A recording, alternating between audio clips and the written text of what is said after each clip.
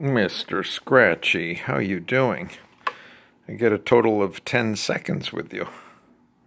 All right, it was 30 seconds before I got the...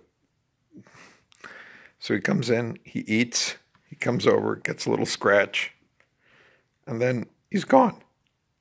I think we are very lucky to have Sweet Pea, who seems to love us.